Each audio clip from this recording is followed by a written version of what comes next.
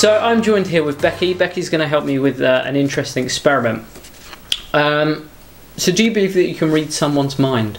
Yeah, You do. I do. Yeah. Oh, women's intuition. Yeah. Uh, so we're going to try it. I'm going to teach you how to read minds. Okay. Yeah. So I've got a card for you. Uh, I've also got a card, um, and I have a pen for you, and I also have a pen.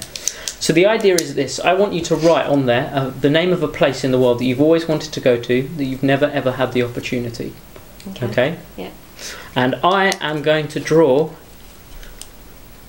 I'm going to go for like a simple shape or a simple image. Okay. So you've got uh, a couple of seconds to go for it. I will draw. I I know what I'll draw. No trying to guess what we're drawing either. Good. Okay, I'll hold it face down. Excellent. Now, here's the idea. um, so here's the idea. What I want you to do is you're going to have mine, and I want you to hold your hand there. Don't peek at what I've drawn, and I'm going to do the same. And all I want you to do is to get a feeling from the card.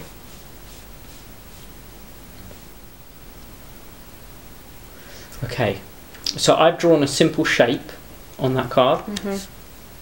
So all you need to think of. Okay, I think. I think I know. So you have mine back. Uh, you have yours back. Yeah. And on the back of yours, I want you to write what you think I've. I've done. It doesn't matter if I see. You can use your leg if you want. So, place your pen down. We're going to try this. So just from the vibrations, Yeah.